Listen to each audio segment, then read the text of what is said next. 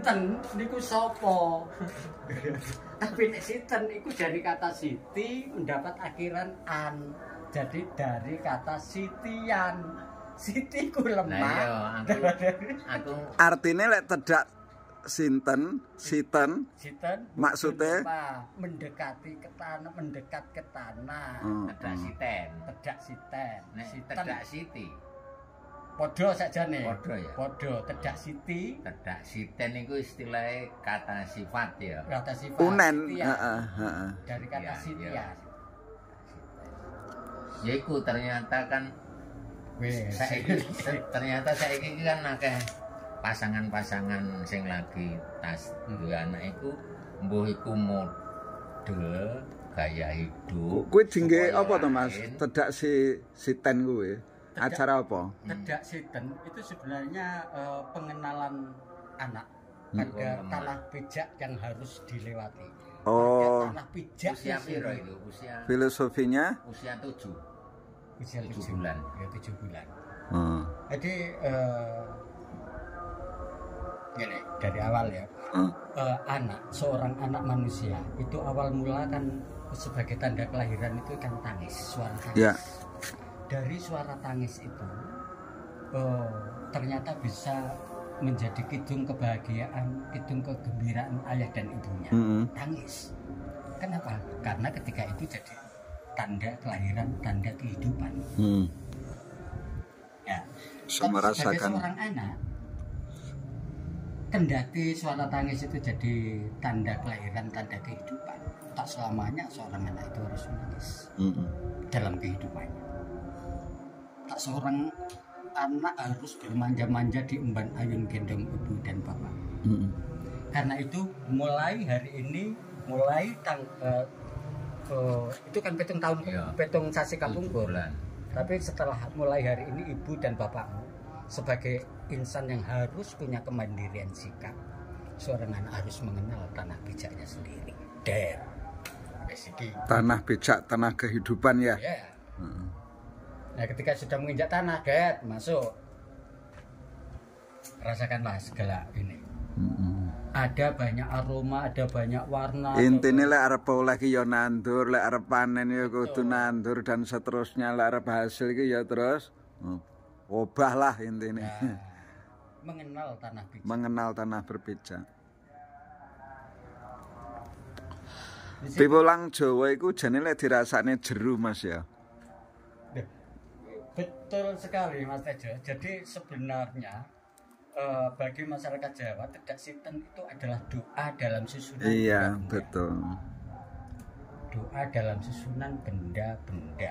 Tidak harus tersampaikan lewat kata-kata, Hmm. tapi sudah tersusun dalam bentuk rangkaian kalimatnya itu tersusun dalam bentuk susunan benda. Wong Jawa itu gane kan sanepan to, Mas. Simbol pasemon. Lah itu jane kan luhur banget to. Iki ngelantipne pikiran, ngelantipne rasa, ngelantipne jiwa. Nah, ini si Dalang atau si MC atau Pranoto Coro, ini pengupasan pengupasan ini. Dukune sing babar cerita, babar karep. Ah, sakjane ngono. Lah iya nek arek saiki kan ya yes, pokoke ana acara iki, acara- Aksi, gak Eh, ono sing ngudari. Ana kurungane, terus sing penting iku milih apa. Tanggane. Kurungan, ya kayak Kurungan. gitu. Oh, nek sing takok MC dhewe iki lho sing takok iki. Lek kurungane maksudnya apa, Mas? Gini. Kendati kita punya kemandirian sikap, Heeh. kendati kita punya kebebasan dalam hidup ini wis bebas meso-meso Hmm, bebas ngomong bebas mikir bebas ngerasa bebas melakukan apa pun tapi dalam kenyataannya kemerdekaan kita di dalam kehidupan ini kemerdekaan kami atas Iya. kemerdekaan kita adalah kemerdekaan yang terbatas karena apa? Karena dalam kehidupan ini ada tatanan, ada aturan main, ada unggah-ungguh, ono toto kromo, ono sopan Intine kan jane adab sasmitone, ben kudu ngerti kan ta bocah Oh. dhewe kurungan. Lah kuwi ora tau dibabarne lho, Mas. Ya, ya mulakno iki. Ya, mulakno iki engko delok ning YouTube Pak Tejo. Kang Tejo Ponorogo. Iki enek wali saka Gresik. Ujug-ujug ceblok ning kebun literasi. Nah dari sini kemudian kenapa kurungan itu sebagai tanda wates. Wates. Di sini aturan main. Apabila kau sudah berada di dalam wates, kamu bebas milih apa pun. Nah terus tong, tonggone Mas. Mau anu selamat. Ondone, ondone. Ondo. Ondo apa kok ondo teko tebu. Heeh, nyapa kok kok tebu ora kopring. Kok pring. Tebu dipilih tebu wulung. kok tebu ulung ya piye iki? Eh tebu nek kereta basane iku anteping kalbu kan gitu Mm, kan. Iya, heeh. Wulung saka dongdinge tembung Heeh. Kan ana eh, guru lagu guru wilangan Heeh. ya toh. Saka guru lagu wulung bisa teko wulang. Ulung ulang. Heeh. Wong bisa ngondo, Heeh. ngondo ya duwe teges Duwe ilmu. nutur, pesen, dawuh, ngondo kanthi anteping kalbu kan ngemu pepulang bab kautamaning gesang. Nah, iki iki kan masuk masuk inti dari Hmm. ini tadi aja.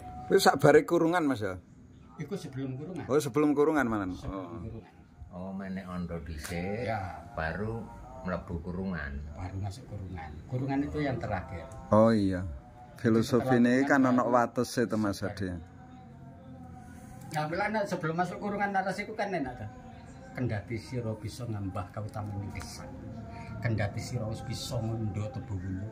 Nanging ngertenono kap kamardikaniro kamardikan kang winates. Loro ganiro kudu ki lho. Iki masuk nang kene iki. Wis wis wis akeh iku wis milih-milih iku, milih wis bebas. hidup itu kan pilihan to Mas Edi. Kowe arep dadi apa wae ning ilinga. Wujude urip itu arep piye-piye munggah dhuwur kaya apa ana watese ana kurungan. ana normane, ana etikane, ana adabe. Puncake ilmu kan adab.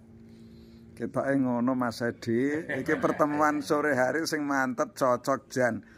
Ora sengaja tapi gak ngemu rasa ngilmu Jawa puncake urip kan raos.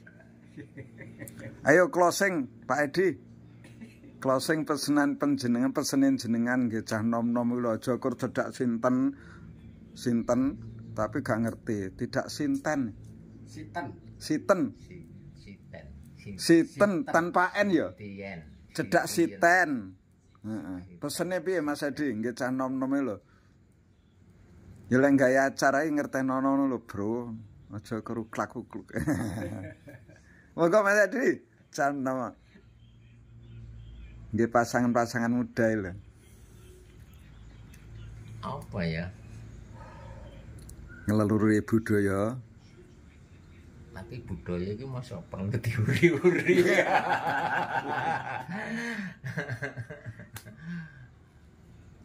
Ayo, lek Mas Budi dhewe ya pesene.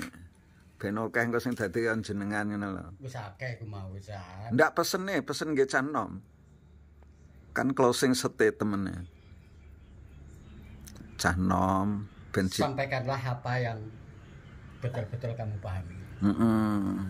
Jangan menyampaikan apa yang tidak kamu pahami. Lek dadi MC ki aja apalan ngono ya. iki satir iki.